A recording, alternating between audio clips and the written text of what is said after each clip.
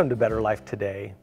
You know, I belong to a church, and every church is made up of levels. You have your members, you have the church, and then you have a bigger organization with multiple churches. And so sometimes that can get a little convoluted and ethereal, but we're going to try to bring that home a little bit today in our episode. And my guest is Jonathan Russell. You are with the conference office the, with the Seventh day Adventist Church, and but that's just kind of a place. Um, place. But let's step back a little bit and tell me what do you do? My role is assistant to the president for multimedia communication okay. at the Oregon Conference of Seventh day Adventists. Okay. So that's our office in Gladstone. Um, I get to work with a group of creatives to just advance the mission and advance the communication mission of the Oregon Conference office. Okay. Um, I, I love what I do. Right. So that's a title, but what would you say you actually do? What is your mission when you look at what you do? Um, because everybody has titles. I just kind of a, a, sneak peek into me. I I don't like titles. No. Um, at all. Um, and some of the people I look up to the most, when they describe themselves, I'm often surprised. So I'm curious if you're going to surprise me. How would you describe yourself and what you actually do? Yeah. So what I actually do is I make connections. Okay. Um, it started all the way back at the beginning of my role. So I'm actually a pastor at heart. Okay. I've been a pastor for uh, 15 years or so. And it was about four and a half years ago that our president called me into his office. Um, it's not usually a good thing. Okay, yeah, um, I've been called into the principal's office before, yeah, yeah, and I would kind of weigh it about the same. So he called me and he invited me to come work for Oregon Conference for our regional office. And uh, in the course of that conversation, kind of what unfolded was this idea of being a connector, telling stories and, and sharing ideas that would help us connect our Oregon Conference together across our region. Okay, and what, what does that look like? I mean, as a, as a member, again, you know, I live here in Grants Pass, and everybody else is living wherever they live. What does that look like? How, how are you making those connections? It's a good question. Um, you know, as a conference support team, the thing that we've tried to do is we've tried to just be able to tell a lot of your stories.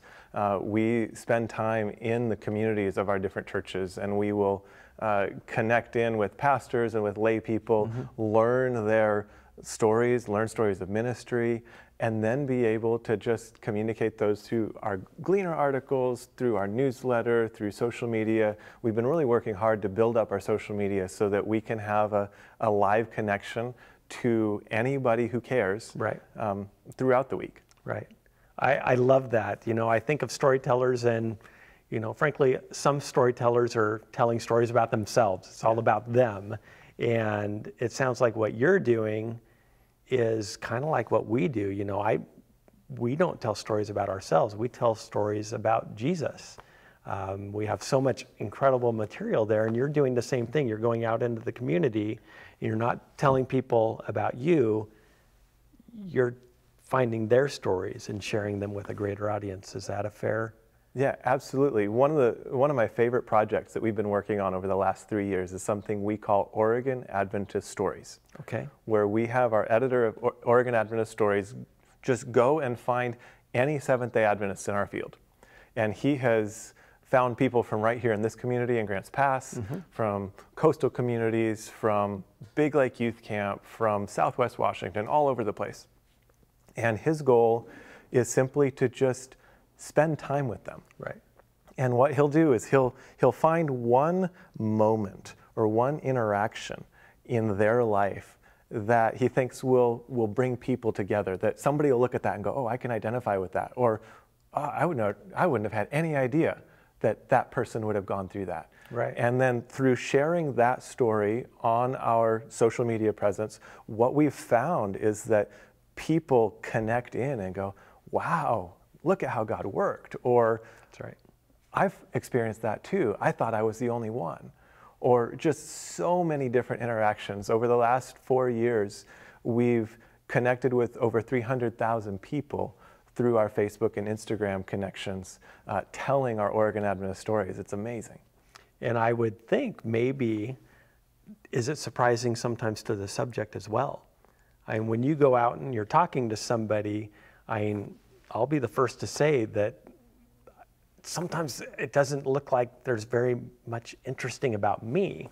So why why is my story interesting to other people? Do you do you run into that as well, where people are just kind of surprised at that other people would get something out of their story? All the time. All the time we hear that. Um, but, but the truth is that, Charlie, you've gone through a lot of stuff that nobody knowing you here at Better Life would have any idea about. Mm-hmm. And if somebody just took the time to talk with you and listen, uh, and if, the, if some of those things from your, your past and your, your background came out, people would see you in just a whole new way. Uh, and, and that's what we've found. I mean, we've had stories that have dealt with things like abuse, uh, addiction. We've had stories of people who have, have fallen away from the church and some seemingly random occurrence happened to, to reconnect them back. Uh, we've had stories of pastors that have just uh, had, had things happen that you would never would have any idea about, but it was instrumental in their call to be able to serve people in, in, in their territory. And so just the, the breadth of the stories we get to tell is, is really remarkable. And we feel honored to be able to be trusted with that and then to be able to share it with the world. Right. So that's, that's one of my absolute favorite things about the Bible. And what brings me back more and more, time and time again, is that it's full of stories that resemble me. There's brokenness, there's all these things, and I can connect to that. If it were, if the Bible was written as just, you know, everybody was a Daniel or, or things like that, I'm not sure I would be able to relate to it the same. So is that part of the intention for going out and talking to people? Yeah, absolutely. Um, you know, as, as, I look at our, our church society, um, there is this real pressure to, you know, put on your best clothes and show up to church and put on this smiley mask. Yes, the fine, and, fine, just fine mask. Yeah, absolutely. Yeah. And so, you know, if there's any cracks in that armor, if there's anything that would be wrong, too often it doesn't feel like it's a safe place mm. in church to really be honest about our experience. Right. And so it was really important to us as we were getting started on this journey to try and be honest about human experience. We can be people of faith and still have to wrestle with our own brokenness sometimes. Yeah. We can be faith, people of faith and we, we still will walk through a valley of doubt. Sometimes faith and doubt go hand in hand. And we've found it to be powerful that when we share these stories and, and when we're just honest about what humanity is like, the, the ability of people to connect with each other and support each other, wow, what an amazing, I'm inspired or I'm praying for mm-hmm. you or whatever, um, it, it, has really been meaningful uh, for a lot of people. Right. Do you feel like when you and you'll have to explain to me the process a little bit, but when you're going out and you're engaging in the communities, does it begin to transform that community when they start to feel like they can be themselves and all their flaws and everything else, and then how perhaps they relate to others, whether it's accepting others or being willing to share their stories because there's a connection there. Have you seen any transformation taking place? So that's such a good question. Um, I have not necessarily circled back into those communities. You go, oh, how did this story impact your community? Mm-hmm. Um, as people are seen, um, we are seeing that those people, you know, we circle back to the people whose stories we tell. Right, okay. And, and they feel validated and they feel encouraged and they feel blessed to be a part of the journey. How that uh, translates to the entire community, I don't know locally in their local church. Right. What I can say is that in our in the online community of people who are following and the people that are engaging with the content, uh, we do see as time goes on a warmth toward the stories and the people, the subjects mm. of the stories. I love that because that's you know we're a we're a television station here, and we don't often get to see what the impact is and and I I grab onto those stories where I hear of somebody coming to church and saying, well, we're here because we heard this, and you connected me because that's what that's what I feel that we are. We're we're we have this opportunity to be a conduit. Um, it's not about us whatsoever. It's just God is being gracious and He's allowing us to be part of this strangely unique puzzle where Charlie fits into it, even though to Charlie there's no reason for it. But we get to again participate in in this fabric that that I just love. And if I'll give you an example.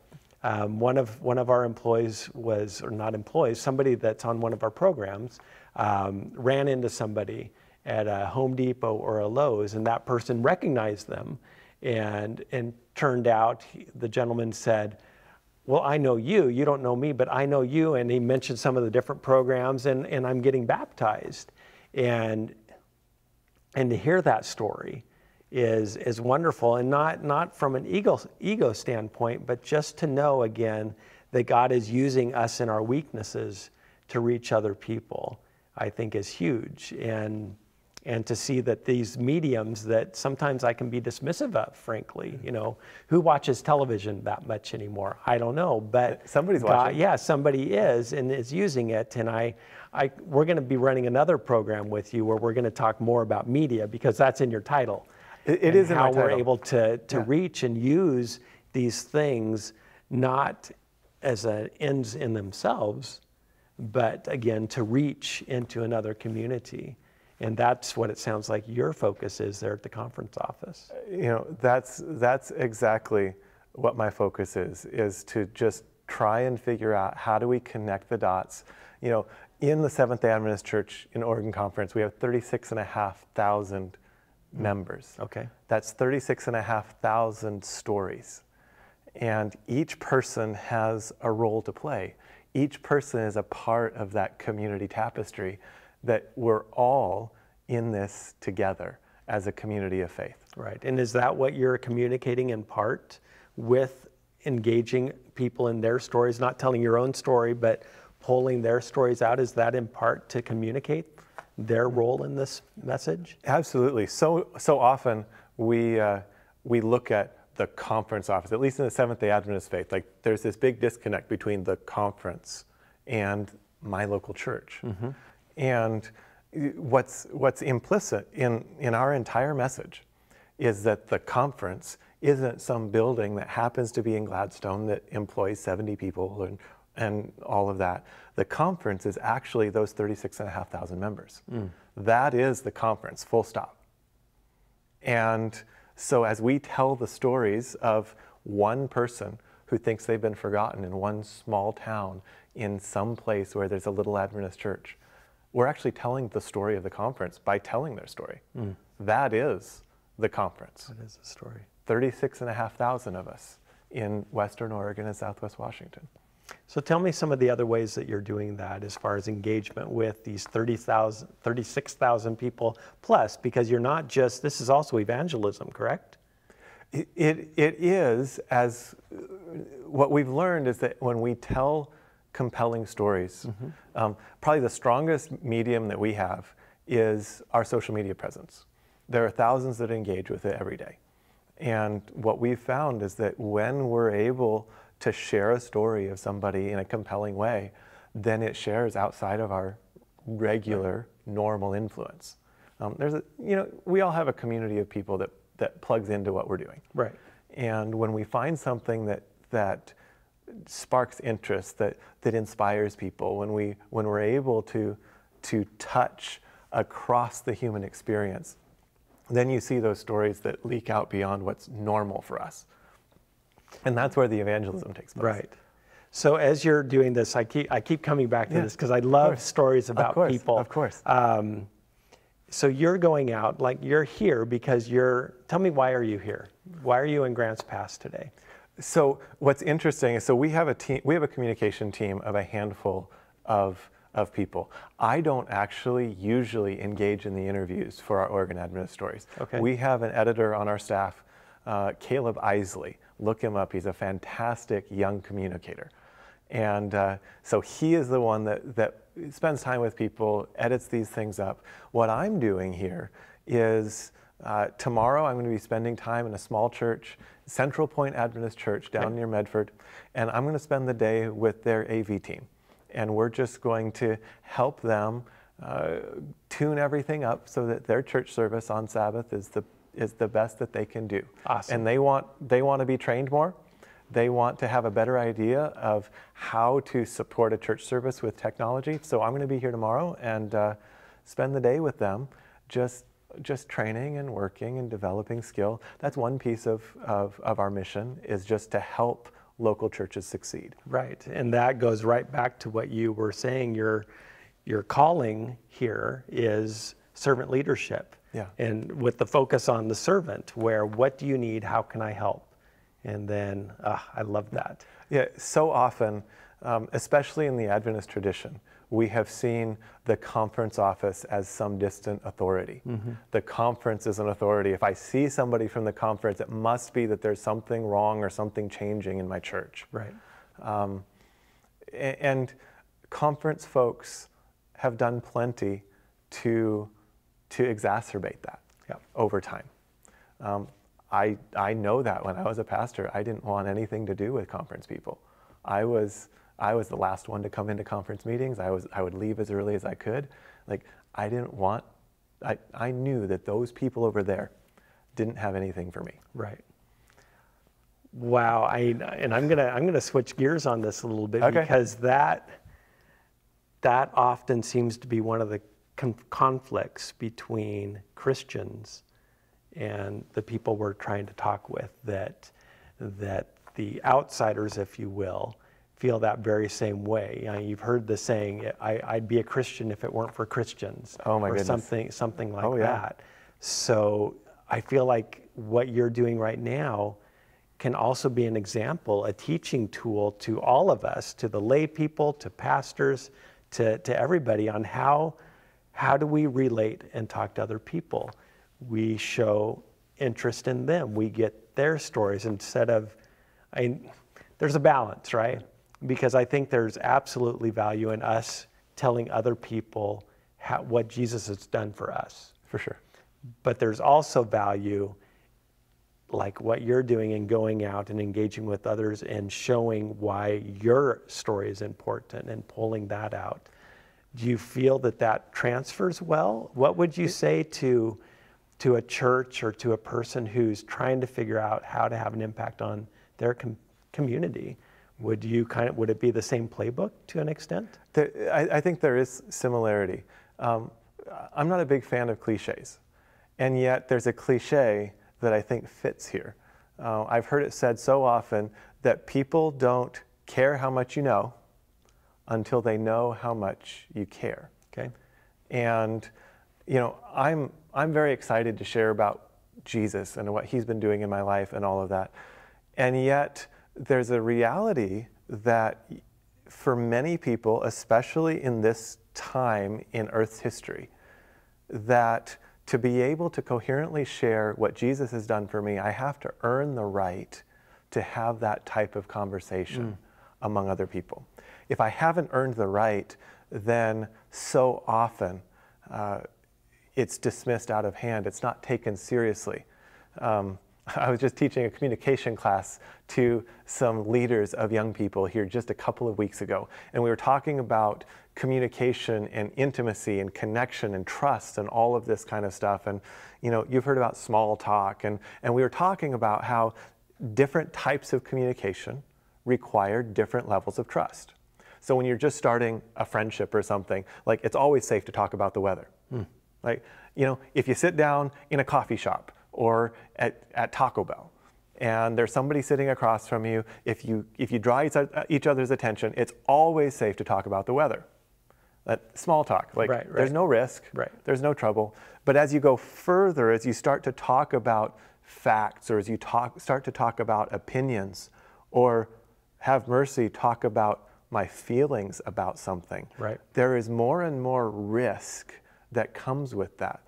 It's why friendships take a long time to develop. It's why dating relationships take so long because we have to progressively gain trust that if I share more of myself, you're actually going to be safe with that. You're not going to punish me for having an opinion Right. or for having feelings about something.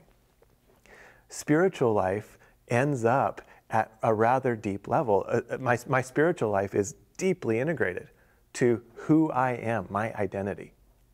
And, and it's the same for anybody that we connect with. And so if I'm going to share and try to engage you in a spiritual conversation, oftentimes I have to earn the right to do so. And how do we do that? How do we earn that right?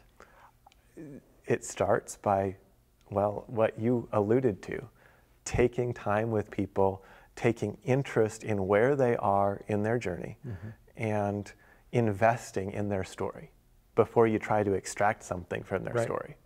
You know, I don't know if I should actually say this, but I'm going to anyway. Okay. Sometimes, as Christians, we share our story with an ulterior motive. I share my story about Jesus in hopes that I can convince you to join my team. And then when, I, when, when we baptize you, then I can celebrate that. Look what God did to use me to bring you to Jesus. And it, it almost becomes self interested, my ability to share this. Does that make sense? That makes absolute sense. Uh, and so, like, if we turn that script inside out and we go to invest in their journey on their terms, my experience has been that we build trust so much faster. And that as we hopefully earn the right to share about Jesus, it becomes a real and authentic interaction instead of a hopefully evangelistic transaction Right.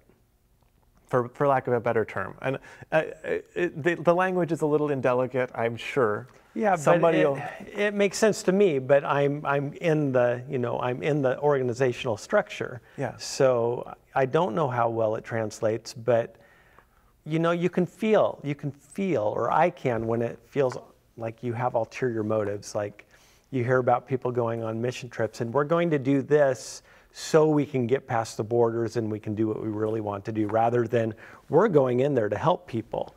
And while we're helping them, we're also going to be talking about our Jesus. There's, I mean, it, it can get a little, like you said, it can be a little indelicate, but I think it's nice that we can again go back to the Bible and we can see how Jesus did things and, and the risks he was willing to take to reach people that did not deserve it. Uh, I love that because it's so easy again for me to see all the reasons why I don't deserve it. And then once I'm in that, Yeah. then I can hopefully. Have you been in those situations where I was ta- I was talking about this with a friend earlier, where you're uncomfortable. You, everybody has their comfort zone, right? Sure. And you operate from within that. But something so profound steps you outside of that, like going on a mission trip, seeing a need, seeing something where God has just worked on you with the Holy Spirit, and all of a sudden, what was so uncomfortable that you just wouldn't consider it. Public speaking is one for many people where you can't do anything but because God has planted this passion in you that all of those boundaries that you've put on yourself no longer exist. yeah. Um, and to be able to communicate that in a way, I mean, people see, I think, that realness. and maybe that's coming out in the stories as well that you're able to tell. Yeah, I mean, this is a lesson I learned early on in my ministry. As an intern uh, in Salem, Oregon, it was my first two years of ministry. Um, I was frustrated because I couldn't figure out why more people weren't accepting Jesus, like just embracing my ministry and coming to the truth and all of this. And it hit me one day that if I stopped worrying about whether I could convert somebody, and started just being interested in serving and relating and connecting, uh, that maybe things would be different. And sure enough, it, exactly as soon as I stopped worrying about how many people I was going to baptize, Because we love to measure things. We love we? to measure things. We do. And- And, yeah. and, I, and I was indoctrinated with that in my theology school. Like, you got to baptize people. You got to bapt- You got to bring them to the truth. And when I stopped worrying about how many am I going to get over the next little while, Mm-hmm. and just started seeing people as people and journeying with them, it actually it, it felt like a paradox, but people just started responding to the gospel. It wasn't responding to me anymore or to, Yep. to my desire for them. It was the ability for them then to just respond to Jesus on their own terms because we had a relationship. Everything changed for me. That has impacted the rest of my ministry all the way along. So I'm, I'm glad you said that because when we started this conversation, I was like, so what are we going to talk about? Yeah. I, I had no idea. I just enjoy visiting and hearing people's stories, but I would kind of distill it down to people are important. Yeah. and and hearing each stories are important journeys are important and being able to communicate that and allowing people to see again so many of us view that we're not worth it you know my story is not important why would god bother with me and when when we view people as important and are able to communicate that it it changes everything It sure does. I mean, Jesus was the master at this. I mean, Jesus had every reason to be completely task driven, as so many of us are. Just one thing to the next. So many people were demanding so much of his time. Mm-hmm. But if you go and count how many times he paused to touch a leper, or to, to, to bend down and, and to grab the hand of someone who was an outcast in society. Yeah. Or just kind of stop time for a moment to take the people on the margins and center them in his attention. If you look at that, um, he is the master and the prime model for exactly what we've been talking about here. Well, thank you so much. I, we're about out of time, and I'm so thankful we get to do this again soon and talk more about technology, which is dear to my heart. But I hope that as you've watched this, that that you are realizing how special you are and how special the people around you are, and that we have an opportunity to share what God has done for us, but also to listen to others. So as you finish out your day, keep that in mind. See what story God wants you to tell and hear today. God bless you. We'll see you next time.